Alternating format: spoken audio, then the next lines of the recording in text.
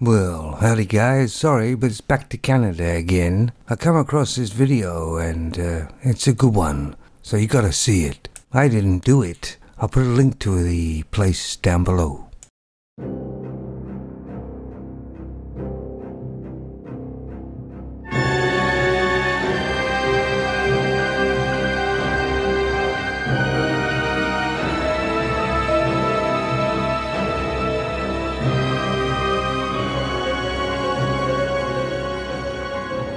Small fringe minority.